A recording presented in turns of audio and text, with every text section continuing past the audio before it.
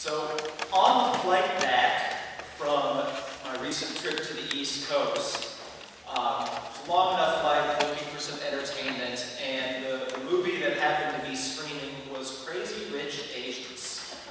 Anybody else seen it? Okay, a few people have seen it. Both the title and the content are somewhat problematic in certain ways, but it, you know, it's also uh, an entertaining movie in a couple of ways. But the opening scene was very striking. So the opening scene takes place a couple decades earlier than the rest of the movie. And it's at a very posh, historic London hotel on a cold, rainy fall night. And uh, a couple of Chinese women, um, a little bit older, but with, uh, with children in tow, come in, looking a little bit bedraggled, and claim to have a reservation at the hotel.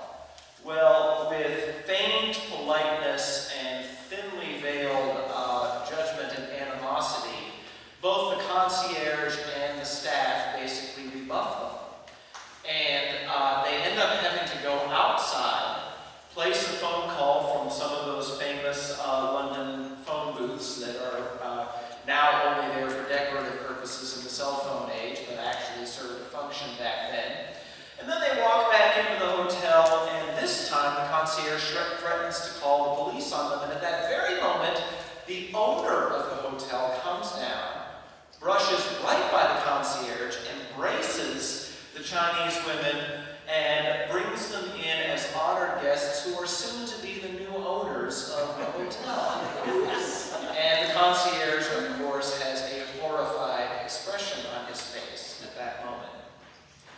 Okay, so this is a little humorous and this is just a movie, but uh, another example, which I'm very hesitant to bring up, but I will, but let me couch it as saying absolutely, if you hear yourself in this story, absolutely no criticism or judgment is to be interpreted from this. I absolutely promise, but this is an event that actually occurred here a little over a year ago. Some of you may remember that I believe it was June of last year, um, the director of Partners for Change came and made a presentation to us in the lounge after services. And this was at the time when St. Matthew's Missionary Baptist Church was still uh, using our parish hall on Sundays. And when she first arrived here, our worship service as well. I think she said it was three times. Uh, three different people, um, without asking which of the two churches she was looking for, uh, very graciously started to direct her over to St. Matthew's. But of course, she wasn't here for St. Matthew's. She was here for St. Bartholomew's. Now, there was absolutely no, I'm certain there was absolutely no malice.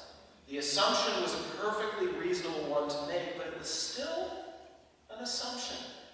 And it was still one that perhaps could have led in the direction of that opening scene from the movie I just described. So now on to today's gospel. At first glance, it looked, as, as I was reading and praying and meditating on it, I was like, seriously, Jesus, really? I mean, do, do people actually need this lecture? And we have to remember that Christ's disciples were essentially adolescent males, or if they were out of that life stage, biologically speaking, mentally they were still often in adolescence. Just look at the interaction between him and Peter or Thomas or James and John throughout the gospel, and some of the times you're just like, I think I just had that conversation with my 15-year-old son.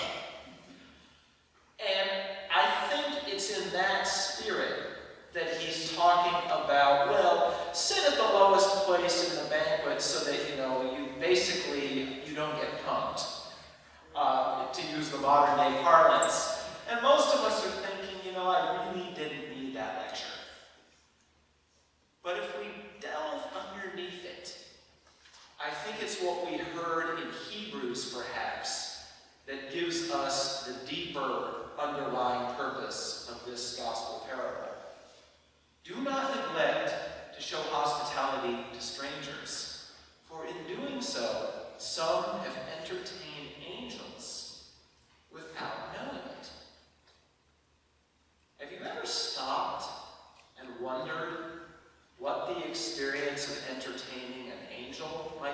like it would be wonderful.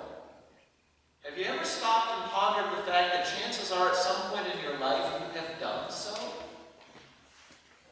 You can probably remember those occasions. I've spoken to some of you one-on-one, -on -one, and you've recounted stories where I've thought, hmm, sounds like you entertained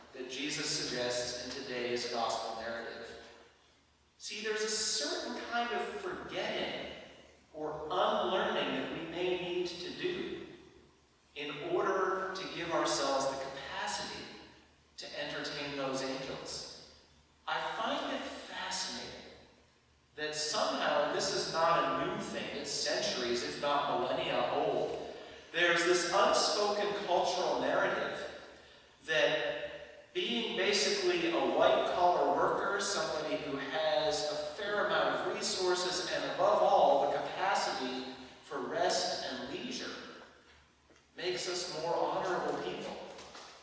Let's stop and deconstruct that for a second.